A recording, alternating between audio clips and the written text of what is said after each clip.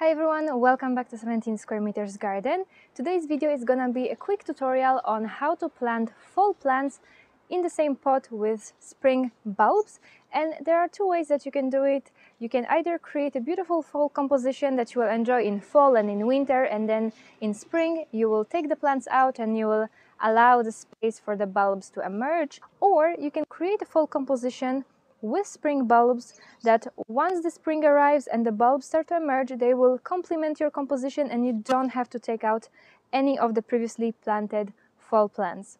Okay, so here are the bulbs and the flowers that I'm gonna use for today's two compositions. In this larger container, I'm gonna plant plenty of bulbs uh, and on top of that, I'm gonna plant a fall composition so that in spring I can remove those fall plants and I can leave the space for the bulbs to emerge to have a full pot uh, of beautiful daffodils. I'm using daffodils um, Obdam and Golden uh, Ducat. For this purpose, you could use any larger bulbs, so bulbs that are a little bit bigger like daffodils, tulips, hyacinths, larger alliums, uh, although with tulips, be a little bit more careful when you water because tulips are prone to rot and they should be planted a little bit later in the season. Uh, although I have planted tulips um, in October or even late September in mixed compositions like this and they did just fine. But just be mindful uh, when you water to not overwater your plants uh, so that the bulbs don't rot out. Whatever bulb you plant, obviously you always want to plant it pointy side up. If you are not sure which side is pointy, because with some bulbs it's actually hard to tell, you can plant them on their side. Uh, this way the bulb will still find its way up. Plant them roughly two to three times their depth. So for example, if I will have soil level until about here, so to measure two, three times deeper, I could go even deeper than, than this in the pot, but I'm gonna just leave them like this, they will be fine.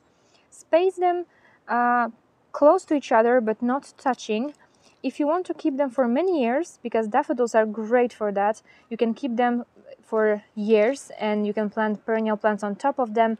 And because their stems are so strong, they can emerge in between uh, the roots of perennial plants. So if you were to keep them for many years, just space them further apart because the bulb, as they naturalize and as they grow, they will have little bulblets on the side. Here's a perfect example. So this year I'm planting eight, but next year I may have many more than that because they reproduce. So that's uh, how you should space them close but not touching uh, and that's plenty enough space for them to grow. Also make sure that they don't touch the, the wall of your container. Now I'm just gonna cover them with soil and I will start to plant my perennials on top.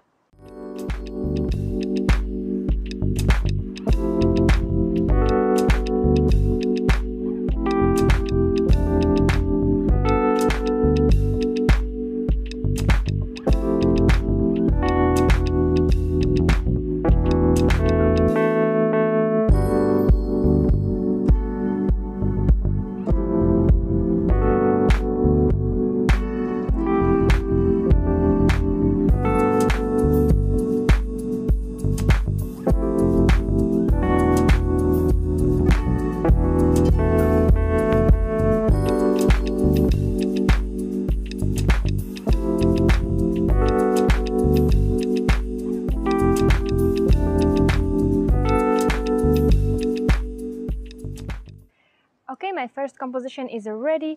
I used Heuchera, I used Heather, uh, Dichondra Silver Falls, which is not uh, frost hardy, but even uh, when it dies, it still keeps this silver color, so it still looks amazing. I used one viola and ornamental cabbage. Uh, and now in the second composition, the purpose of the second composition will be that the spring bulbs, once they bloom in spring, they um, complement the composition so that I don't have to take any of these plants out.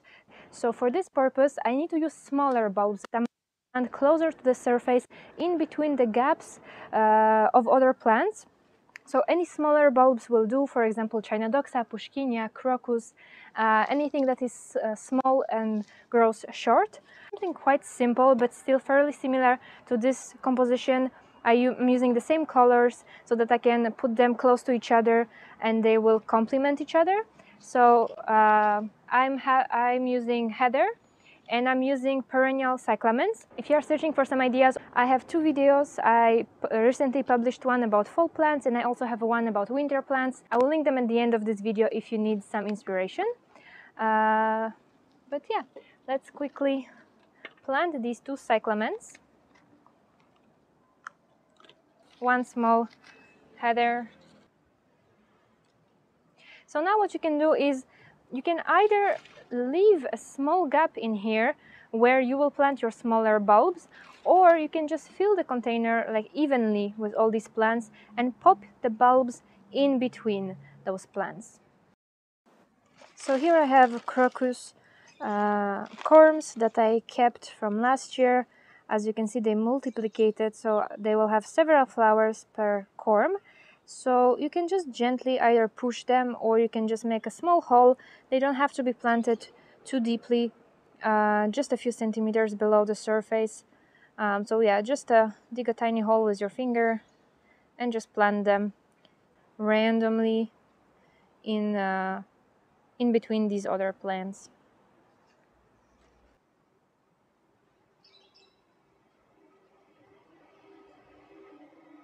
So once you plant all the bulbs, uh, water your plants initially and then water them every now and then in fall and in winter as well. The bulbs will not rot out as long as you don't overwater the planters. Okay, so here it is, my fall composition with spring bulbs. These two planters will be standing next to each other uh, because I think they look really uh, lovely together. Um, so yeah, I hope that you enjoyed today's video, that it gave you some new ideas of how you can incorporate your spring bulbs with your fall plantings.